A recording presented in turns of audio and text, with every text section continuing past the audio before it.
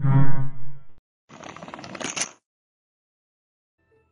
皆さんこんにちは。さあ、ピックアップガチャが来ております。解説を早速していきましょう。はい、ブーですね。出てきた扉をタップ3種類の効果があるよということで、まあ大体の方はね、サリーしか使ってないと思います。まあもう、僕もサリーしか使ってないです。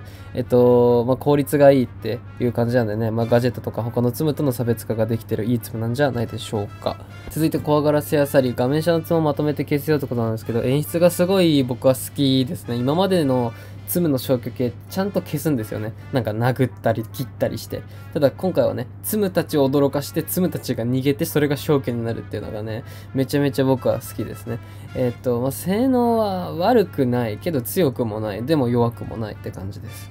続いて、プンバーですね。はい、もうこれはさっきのサリーと比べたらちょっと劣っちゃいますね。スキルマンになっても20後半しか消えてくれないので、まあ曲がついてるんでね、それだけでいいかなっていう感じですね。続いてバーリーですね。まあ、イアンのはず、イアンが当時出てきた時の外れ枠としていたんですけど、まあ一応悪くない性能はしてるのか。まあ2段階消去でだいたい弱いんですけど、まあまだ、まだ、まだ抗えるかなっていう感じですね。まあ2分の1の魔法めちゃめちゃこいつかっこいいんでね、ぜひぜひ見てみてください。続いてバニー数箇所でまとまってツムを消すよということで、必要ツム数は少ないんですけどね、消去数がちょっと少ないんでね、スキルの回転率っていうのは悪いです。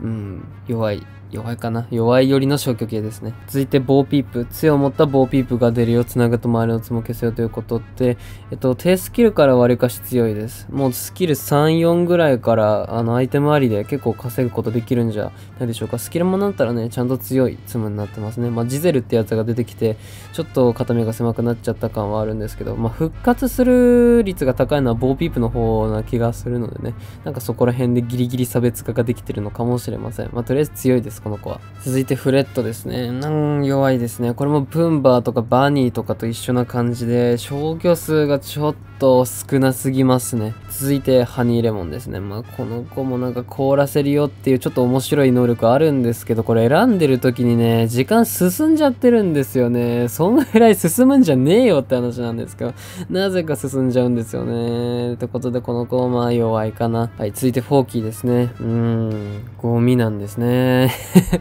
いやー、ちょっとね、メインで使うツムじゃないですね。まあ、一応サブ、とかこのツム自体、スコアは高いので、サブツムとかで振ってきたら嬉しいですね。まあ、メインで使うツムではありません。続いて、ダルマミニですね。まあ、今回のピックアップの一番の目玉はこの子だと思うんですけど、うーんとね、コインは一応稼げなかないんですよ、スキルまで。で、うまくいったら本当に8000とか万枚とかもいけると思うんですけど、まあ、もちろん難しいんですよ。めっちゃ難しいので、もう8000コイン稼げるんだったら引くしかねえじゃんっていうので引いちゃったらちょっと痛い見えるかもしれませんね。現実は本当スキルまで、まあ4000はその5000ぐらいが限界かな。うまくいって6000とかです。はい、ってことでラスト賞トップアット G にですね。いやー、僕このツム大嫌いなんですよ。